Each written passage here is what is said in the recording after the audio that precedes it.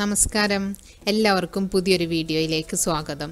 ഇന്ന് ഞാൻ സ്പെഷ്യലായി തയ്യാറാക്കുന്നത് ഒരു കോളിഫ്ലവർ പിസയാണ് ഏറ്റവും ചിലവ് കുറഞ്ഞ രീതിയിലാണ് ഇത് തയ്യാറാക്കിയിട്ടുള്ളത്. സാധാരണ നമ്മൾ പിസ തയ്യാറാക്കുമ്പോൾ അതിന്റെ ബേസ് കാർബായിരിക്കും മൈദയും മറ്റ് സംഗതികളൊക്കെ ആയിരിക്കും. എന്നാൽ അതൊക്കെ ഒഴിവാക്കിക്കൊണ്ട് കോളിഫ്ലവർ ബേസ് ആക്കിക്കൊണ്ടാണ് നമ്മൾ ഈ പിസ തയ്യാറാക്കുന്നത്. അപ്പോൾ അതിലേക്ക് വേണ്ടിയിട്ട് ഞാനിവിടെ കോളിഫ്ലവർ നാല് മിനിറ്റ് പുഴുങ്ങിയെടുത്തിട്ടുണ്ട്. പച്ചക്ക് എടുക്കുകയാണെങ്കിലും നല്ല ചെറുതാക്കിയിട്ട് ചോപ്പ് ചെയ്തെടുക്കണം. അല്ലെങ്കിൽ പിന്നെ പുഴുങ്ങിയെടുക്കുകയാണ് എളുപ്പം. പിന്നെ ഒരു മുട്ട എടുത്തിട്ടുണ്ട്. പിന്നെ ഇത് ചീസാണ്. ഇത് നിങ്ങൾക്ക് പെർമസൻ ചീസ് മോസറല്ല ചീസ് പിന്നെ അല്ലെങ്കിൽ കോട്ടേജ് ചീസ് ഒക്കെ ഉപയോഗിക്കാം. പിന്നെ ഇതിലേക്ക് ഉപ്പും വേണം കുരുമുളകും വേണം. ആദ്യം ഇതൊന്ന് ഗ്രേറ്റ് ചെയ്തെടുക്കാം.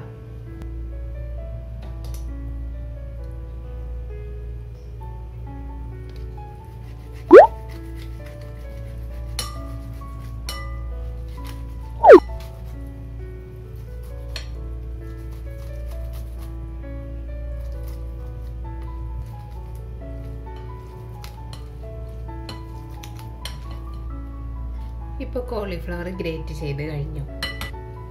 ഇത് റിനോ എന്ന് പറഞ്ഞ ബ്രാൻഡിന്റെ ചീസാണ് ഇത് നൂറ് ശതമാനവും നാച്ചുറൽ ഫുൾ ഫാറ്റ് ഷെല്ലാൽ ചീസാണ് ഇതൊരു കയറ് കെട്ടിവെച്ച രൂപത്തിലായിരിക്കും കിട്ടുക. ഇതിന്റെ പുറത്ത് പ്രത്യേകം എഴുതിയിട്ടുണ്ട് ഫ്രീ ഓഫ് വെജിറ്റബിൾ ഫാറ്റ് എന്ന്. നമ്മൾ സാധാരണ ചീസ് വാങ്ങുമ്പോൾ നന്നായിട്ട് ഇതേപോലെയുള്ള രണ്ട് ഭാഗം പരിശോധിച്ചിട്ട് vegetable fat palm oil potato starch ഇതൊന്നും ഇല്ലാത്തത് നോക്കി വാങ്ങണം.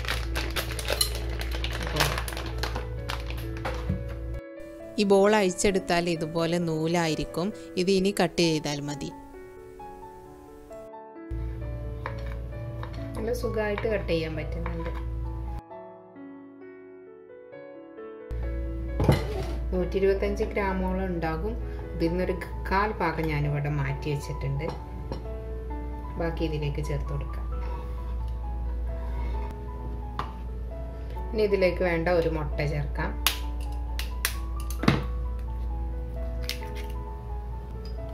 പാകത്തിന് ഉപ്പ് ചേർക്കാം. പിന്നെ എരിവിനുള്ള കുരുമുളക് പൊടി ചേർക്കാം. ഇനി നിങ്ങളുടെ കയ്യിൽ ഇറ്റാലിയൻ സീസൺ ആയിട്ട് ബേസിലോ ഓറഗാനയോ അങ്ങനെ എന്തെങ്കിലും ഉണ്ടെങ്കിൽ അത് ചേർക്കാം കേട്ടോ. ഞാനിവിടെ എടുത്തിട്ടുള്ളത് ഏലക്കായ പൊടിച്ചതും പെരിഞ്ജീരകം പൊടിച്ചതുമാണ്. ഒരു കാൽ ടീസ്പൂണോളം ഏലക്കായ പൊടിച്ചതും കാൽ ടീസ്പൂണോളം പെരിഞ്ജീരകം പൊടിച്ചതും ചേർത്ത് കൊടുക്കാം.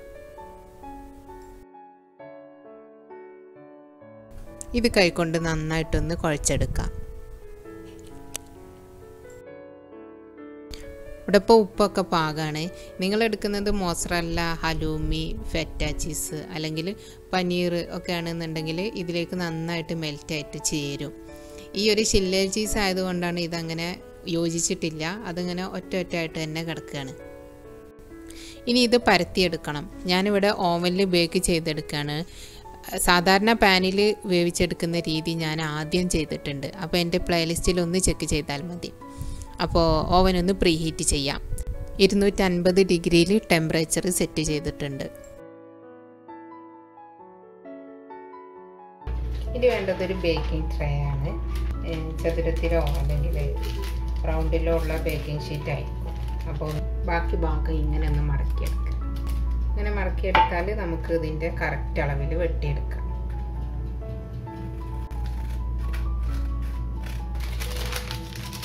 അപ്പോൾ ഇത് ഇതിന് പാകമായി കിട്ടിയിട്ടുണ്ട്.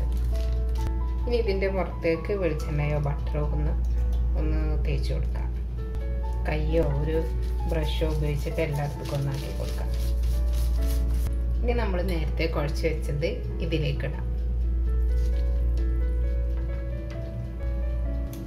ഇനി കൈ കൊണ്ട് തന്നെ ഇത് എല്ലായിടത്തും ഒന്ന് പരത്തി കൊടുക്കാം.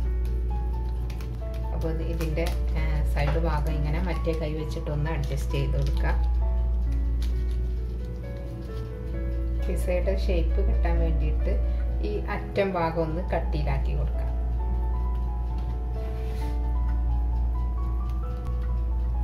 മാവിന്റെ അത്ര ഒരു പെർഫെക്ഷൻ കിട്ടൂല. എന്നാലും ഏകദേശം നമുക്ക് ആ ഒരു രൂപത്തിലാക്കിയെടുക്കാം. ചുറ്റിലും ഇങ്ങനെ ഒന്ന് മുകളിലേക്ക് പൊക്കി വെക്കണമെന്ന് നിർബന്ധമൊന്നുമില്ല. നിങ്ങൾക്ക് പറ്റുമെങ്കിൽ ചെയ്താൽ മതി. ഇപ്പോൾ ഇതാ പത്ത് മിനിറ്റ് പ്രീ ഹീറ്റ് ആയിട്ടുണ്ട് ഓവൻ ഗ്ലൗസ് ഇട്ടതിന് ശേഷം ഈ പിസ ബേസ് ഇതിനകത്തേക്ക് വെച്ച് കൊടുക്കാം.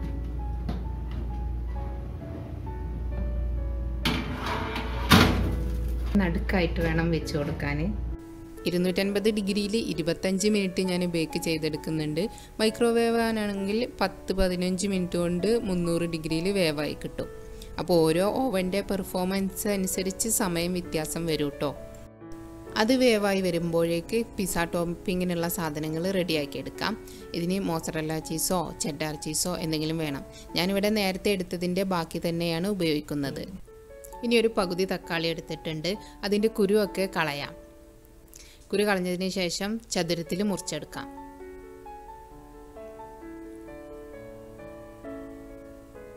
ഇനി എടുത്തിട്ടുള്ളത് കാപ്സിക്കനാണ് അതിൽ നിന്ന് ഒരു പകുതി കഷ്ണം മതി.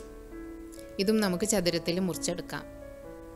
പിന്നെ എരിവിന് വേണ്ടിയിട്ട് ഞാനിവിടെ രണ്ട് പച്ചമുളക് ചെറുതായി മുറിച്ചെടുത്തിട്ടുണ്ട്. പിന്നെ ഒരു സവാള നാല് സ്പൂണോളം ഉള്ള വലിപ്പത്തിലുള്ളത് ചതുരത്തിൽ മുറിച്ചെടുക്കാം. അതിന്റെ ലെയറുകളൊക്കെ വിടർത്തിയെടുക്കാം. അപ്പോൾ ഇത്രയാണ് ഞാൻ പിസ്സ ടോപ്പിങ്ങിന് വേണ്ടിയിട്ട് ഇവിടെ എടുത്തിട്ടുള്ളത്. നിങ്ങൾക്ക് വേണമെങ്കിൽ മഷ്റൂം ഉപയോഗിക്കാം നാടൻ ചിക്കനോ ബീഫോ ഒക്കെ മിൻസ് ചെയ്ത് വേവിച്ചിട്ട് അത് വെച്ച് കൊടുക്കാം. അതൊക്കെ ഓരോരുത്തരുടെയും സൗകര്യം പോലെ. പിന്നെ എടുത്തിട്ടുള്ളത് L C H F tomato സോസാണ്. ഇതിന്റെ ലിങ്ക് ഞാൻ ഡിസ്ക്രിപ്ഷനിൽ കൊടുക്കാം. ഇപ്പോൾ ഇരുപത്തഞ്ച് മിനിറ്റ് കഴിഞ്ഞു.